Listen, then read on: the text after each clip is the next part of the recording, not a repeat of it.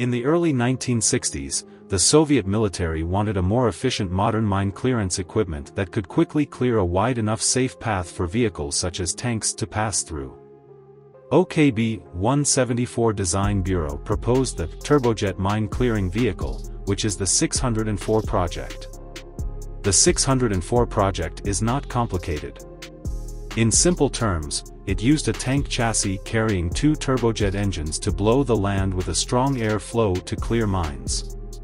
The T-55 tank chassis was used, with the front of the vehicle still being the driver's compartment, the middle turret being removed, and equipment such as fuel tanks being installed inside the vehicle. The rear of the vehicle was fitted with the engines, and the position of the support wheels was adjusted due to the change in the center of gravity.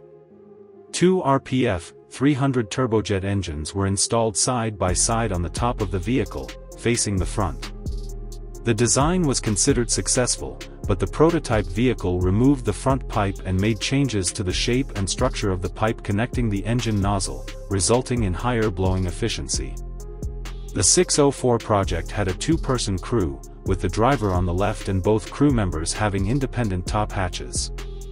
Due to the awkward positioning, the driver had limited visibility and had to rely on the compass inside the vehicle to determine the direction of travel during mine clearance.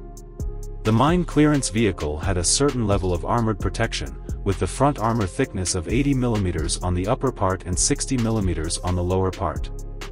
The upper sloping part extended upwards to protect the crew, but with reduced thickness. The turbojet engines and other components had irregular armored shells, with a certain gap between the engine and the armor ranging from 20 to 60 millimeters. The 604 project was not equipped with weapons for self-defense, and the crew could carry rifles and hand grenades for necessary combat. The biggest threat to the crew was not external, but the enormous heat generated by the operation of the turbojet engines and the risk of fuel catching fire. Therefore, there were heat insulation materials and armored steel between the compartments, especially the fuel tanks inside the vehicle. There were two sets of fuel storage devices inside the vehicle, one for the tank engine and the other for the turbojet engine, which could hold 1,500 liters of aviation fuel.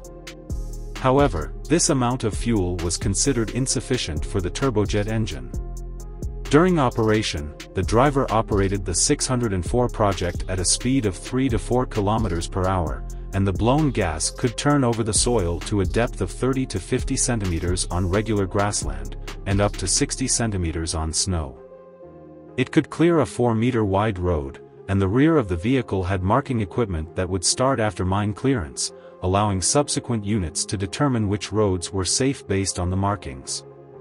The 604 project underwent testing in 1963, and its mine clearance capability was good.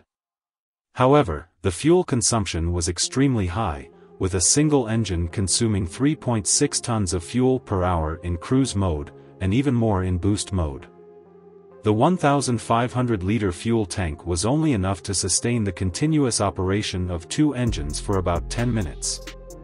During this time, the mine clearance vehicle could clear a distance of 600 to 700 meters before needing to refuel.